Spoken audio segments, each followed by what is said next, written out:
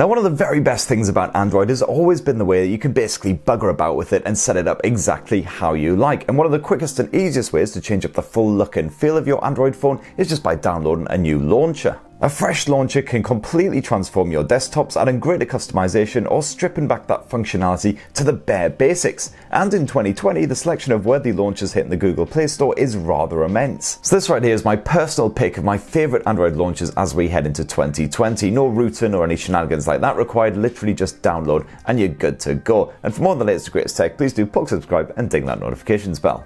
Cheers!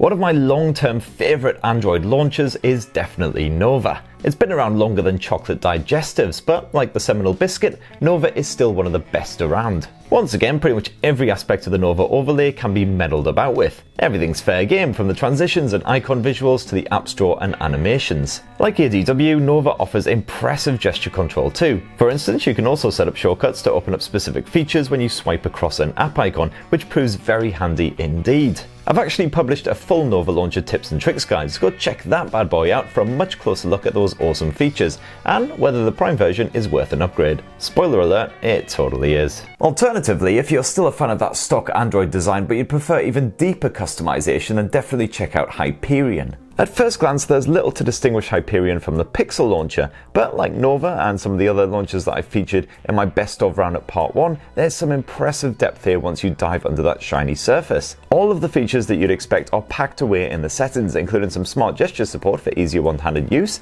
plenty of control over the UI theming, including the color schemes, animations, and icon presentation, the ability to add folders to your app store, and basically so much stuff that I couldn't even possibly go into all of the loveliest bits right here and best of all, it is a silky smooth experience. But note though that to unlock all of those lush Hyperion features, including the full gesture support, you will need to stump up the sum of £1.79, not exactly a bank breaking asking price. And you'll also get a very similar vibe from the slightly boringly titled customized Pixel launcher. Just remember to spell it incorrectly with a Z when you type it into Google Play.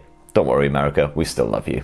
As the name kinda hints, this launcher offers a stock Android look and feel in its default state, but dive underneath that surface and you'll find that you can tweak, fiddle, and poke around to your heart's content. Pretty much every feature found in CPL can be adjusted to some degree, with a mind boggling array of toggles and sliders on offer. And you can cull any bits that you're not really a fan of, like that bulky search bar or the at a glance widget. Like with Nova Launcher, you can play around with the color and opacity of visual elements, try out different transitions and animations, add gesture shortcuts to fast access your notifications and settings, and bugger tons of other bits. And anyone worried about privacy can even add fingerprint identification to any sensitive apps that they don't want other people snooping about in. Another effort that doesn't mess with that stock Android look and feel is the Lawnchair launcher, and the good news is that version 2 of this streamlined UI has just hit the Google Play Store. Like the other launchers I've already mentioned here, you get a good selection of customization options. Everything you see can be tweaked and fiddled with. You can keep the likes of the Google feed if you download the separate Lawnfeed plugin, or ditch it entirely if you prefer. The at a glance home screen widget is a great addition, allowing you instant info on stuff like the current song that's playing.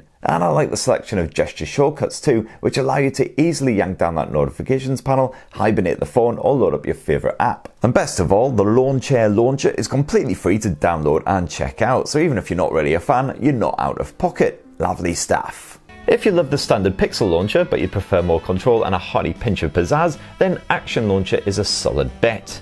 There are too many great additions here to mention, although one of our favourite is the Shutters feature, which reveals an app's widget with a quick swipe across the icon. That's one of the best features that we found on BlackBerry's Android handsets, and it's a great little space saver and very satisfying. The general theming is just excellent as well. Your desktop elements can actually change colour to match your background, which is sheer genius. You can customize absolutely everything here, including the search bar, to add your own handy shortcuts, while the menu system makes it easy to jump straight into whatever app you need.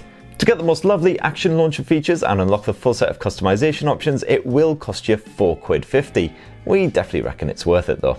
Now, if you happen to be hankering for something completely different, then definitely the Microsoft launcher is still worth a squint. Microsoft fans lamenting the demise of their beloved Windows Phone may be disappointed that the Microsoft launcher for Android is not much at all like that classic tile based UI. All the same, there's lots to love here, with enough unique touches to set the overlay apart from any rivals. Sign in with your Microsoft account and you can sync things up between your phone and your Windows laptop.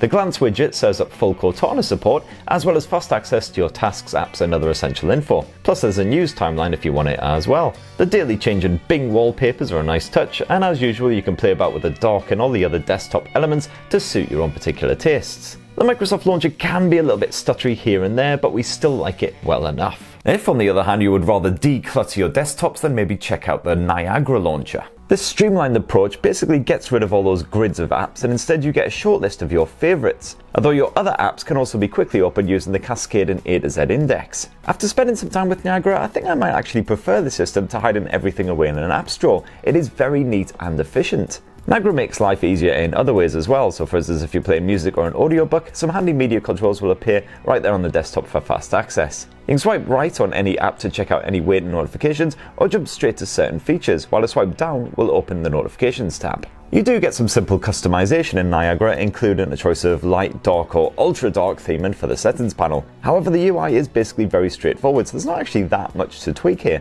Overall, if you want something that's quick and simple to use, then Niagara is pretty bloody wonderful. And another app that completely changes that stock Android experience is the Smart Launcher. Rather than furnishing you with a standard app store, this time you get all manner of options for finding what you need. You can add two rows of your favorite apps to the main desktop, while a swipe right reveals the rest of them all split into preset categories. Alternatively, swipe up and you'll open the Smart Search panel, which helps you to find contacts as well as any apps. Swipe right and you'll open up a widgets page, while swiping down drags down a news feed powered by Microsoft News, which unfortunately is pretty limited in its customization. And thankfully, all of these different pages can be rearranged or even removed entirely from within the Smart Launcher settings, so you can basically set up your handset however you like. The layout definitely does take a bit of getting used to, but there's plenty to love after that adjustment period. For one, I do really like the stylish custom icons, which can be allocated to your favorite apps. Predictably, you can change the shape and the size of the icons or replace them entirely if you're not a fan. And if you spunk up the rather hefty £5.49 for the Pro version, you get even more customization options. However, I did notice that the Smart Launcher was a little bit stuttery at times here on the Galaxy S10 Plus, which definitely detracted from the overall presentation. And that right there is a roundup of just a few of my personal favourite Android launches as we hit 2020. But no doubt I've missed out a few of your own personal favourites,